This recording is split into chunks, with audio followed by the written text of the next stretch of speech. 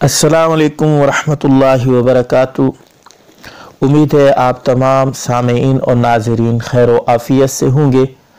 آج ہم آپ کی خدمت میں اس ویڈیو کے اندر یہ باتیں لے کر حاضر ہوئے ہیں کہ الحمدللہ ریمڈ کا دوسرا اجتماع، دوسرا حصہ اجتماع کا شروع ہو چکا ہے۔ آج سات نومبر، بروز جمعرات کو یہ پروگرام شروع ہوا ہے اور عالم اسلام کا یہ دوسرا سب سے بڑا اجتماع ہے۔ حج کے بعد عالم اسلام کے تمام مسلمان حج کے موقع کے اوپر جمع ہوتے ہیں سعودی عرب میں اور دوسرے نمبر پر ریونڈ مرکز کے اندر جو پنڈال ہے جہاں اجتماع ہوتا ہے، یہاں پوری دنیا سے مسلمان جمع ہوتے ہیں اور دین کی محنت کی بات ہوتی ہے۔ تو الحمدللہ، پہلا حصہ اس کا مکمل ہو چکا تھا، جس کے اندر بندہ کو بھی حاضری کی اللہ رب العزت نے توفیق عطا فرمائی تھی۔ اتوار والے دن اس کی دعا ہوئی تھی۔ ہم واپس گھر آ گئے تھے۔ دوسرا حصہ آج سات نومبر سے شروع ہو چکا ہے۔ تو اس کی ترتیب یہ ہے، بیانات جو ہوں گے، اس کی ترتیب یہ ہے، وہ میں بتانے کے لیے حاضر ہوا ہوں۔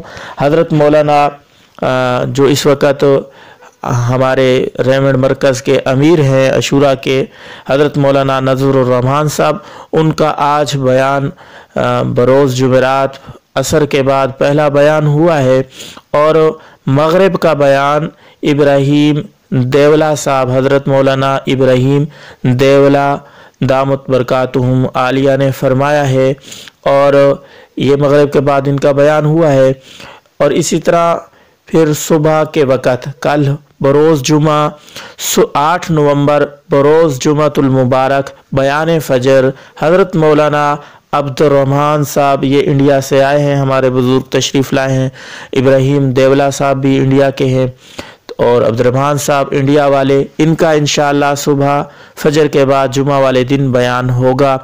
اور اس کے بعد جمعہ المبارک کو حضرت مولانا اسماعیل صاحب دامت برکاتہم العالیہ کا بیان ہوگا۔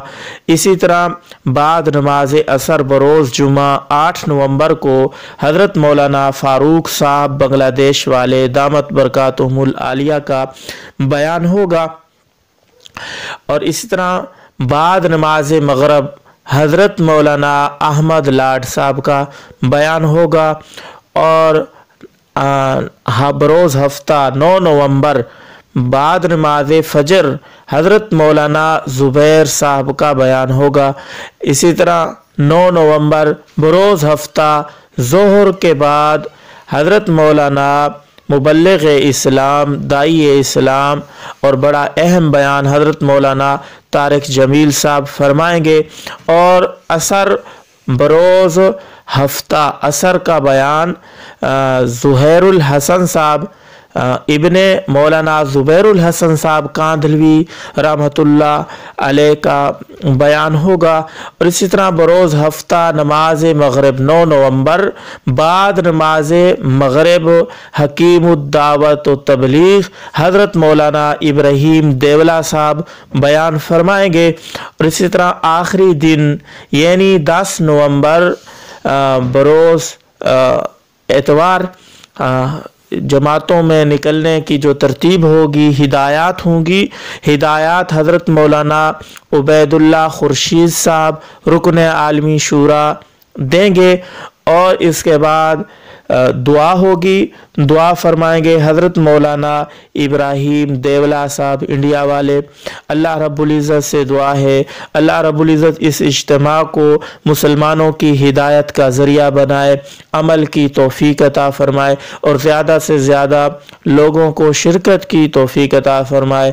زیادہ سے زیادہ جماعتیں نکلیں اور عالم پوری دنیا کے اندر اسلام کا پیغام پہنچے اور اللہ رب العزت، اس کی ہر شرور سے، ہر فتنے سے، ہر قسم کی آفتوں سے اللہ رب العزت اس کی حفاظت فرمائے اور ہمیں بھی اس تمام باتوں کے اوپر جو بزرگان ریونڈ اور انڈیا ہمارے جتنے یہ بزرگ اکٹھے ہو رہے ہیں، ان کے مشورے میں جو باتیں طے ہوں گی، ان کے اوپر ہمیں بھی اللہ رب العزت عمل کرنے کی توفیق عطا فرمائے۔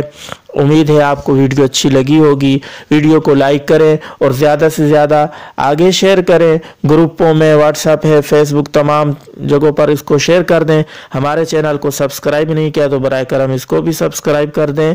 ہو سکا تو اگلی ویڈیو میں انشاءاللہ ملاقات ہوگی۔ تب تک کے لیے اجازت دیجیے السلام علیکم ورحمۃ اللہ وبرکاتہ۔